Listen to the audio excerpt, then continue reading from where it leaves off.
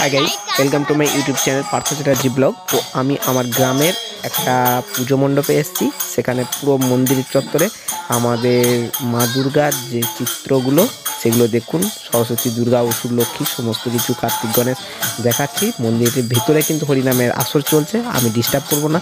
আমরা সুন্দর করে মূর্তিগুলো দর্শন করে পঞ্চমীর দিন হরিনাম একটু শুনে নিয়ে মনকে পবিত্র করে তুলুন।